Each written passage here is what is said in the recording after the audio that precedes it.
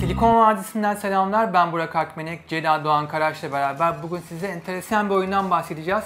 Ee, bu bir rol yapma oyunu, Pillars of Eternity ama oyunun esprisi Aslında Fantastic Role Playing. FRP. Masaüstü. söyleyeceğim daha başka bir şey. Ee, Kickstarter'da ortaya çıkan bir oyun. Ee, toplam 77 bin civarında, yanlış hatırlıyorsam düzelt beni. Yok 77 bin 80 bin arası gidiyor. Ben de, bir ben şey. de o kadar O, biliyorum. civ- o kadar e, büyük bir rakamda bir e, takipçi, bir destekçi kitlesi sayesinde ortaya çıkan bir oyun. E, Pillars of Eternity nasıl bir oyun Ceyda? Ben oynamadım ki sen oynadın. o soruyu benim sormam gerekiyor. Ay, şundan dolayı Ama sordum. az Bir çok fikrim dinledim. Hani dinlemekten kastım hani az çok izledim oyunu. Ee, en azından eğer FRP'yi seviyorsanız e, İngilizcenize güveniyorsanız çünkü İngilizcenizin olması şart. Çok Bayağı. fazla okuyorsunuz Of, oyunda. nasıl?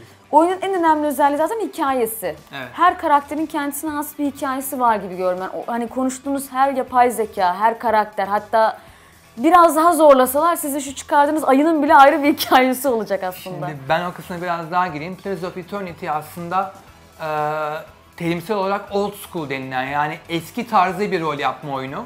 E, eğer Baldur's Gate e, oyunu oynamışsanız veya Icewind Dale oyunu oynamışsanız bunlar zaten seri oyunlardır. Biraz fikriniz olabilir bu söylediklerimle ilgili. E, old school bir oyun. E, üstten karakterinizi görüyorsunuz.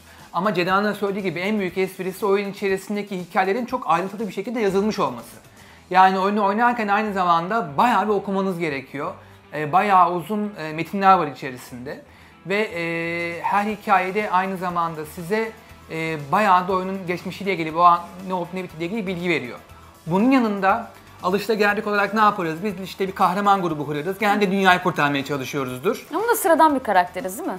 E, sıradan bir karakteriz ve önümüze geleni yani bir şekilde dağıt edip yolumuza gideriz diye bu işte bölüm bölüm ilerler. Pillars of Eternity böyle bir oyun değil. E, siz dünyanın içerisinde herhangi bir karaktersiniz ve herkes öyle kolay kolay yenemiyorsunuz. Oyun zor bir oyun. E, dünyanın içerisinde karşılaştığınız rakipler e, daha savaşın başında sizi yok edebilir.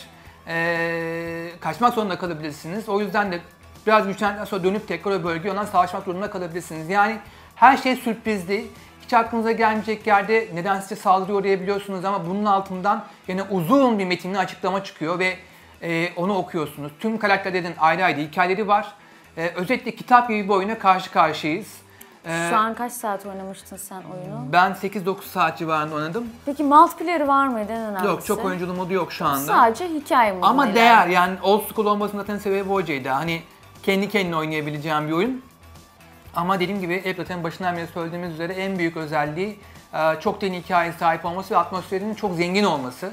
E, rol yapma seven, rol yapma oyunlarını seven oyuncular bu oyuna bayıldılar. Onu çok net söyleyeyim. Yani türünün zaten en başarılı örneklerinden biri olarak değerlendiriliyor. Evet. Hani henüz çok kötü bir puanlama görmedim. Eğer bol bol hani okumayı seviyorsanız, hani eğer hikaye sizin için her şeyden önemliyse zaten müzik, ambiyans, e, karakteri yönettiğinizdeki büyüler, onu geliştirmeniz, seçenekleri, eşyalar yani çok fazla bileceğiniz şey var oyunda. E, kısacası e, tabii ki tek kötü yanı hani eğer İngilizceniz yeterince iyi değilse hani oyunun hikayesini anlamakta ve ilerlemekte biraz zorlanabiliyorsunuz. Evet, Ama zaten gerekiyor. internet çok fazla bunların rehberleri var. Bence biraz araştırarak da oyunun altından kalkabilirsiniz diye düşünüyorum. Evet yani verdiğiniz kararlar sizin gerçekten oyundaki bir sonraki e, diğer kararlarınızı etkiliyor ve oyunda katli surette bir doğru veya yanlış yok. Yalnızca sizin verdiğiniz kararlar var. E, bu yüzden de çok önemli ve çok değerli bir oyun. E, ve son olarak şunu da söyleyeyim, bu ön bilgi verme yerine de geçmez. Kendi kalenizi de yönetebiliyorsunuz ki bu her rol yapma oyunu e, sevenlerin en büyük hayalidir. Böyle güzel bir alt oyunu da oyun içerisine eklemişler. E, eğer rol yapma oyunlarını seviyorsanız bir klasikle karşı karşıyasınız. E, fiyatı da gayet uygun. Mutlaka e, Steam'den veya diğer kaynaklardan e, satın alıp indirip mutlaka oynamanızı kesinlikle tavsiye ediyoruz.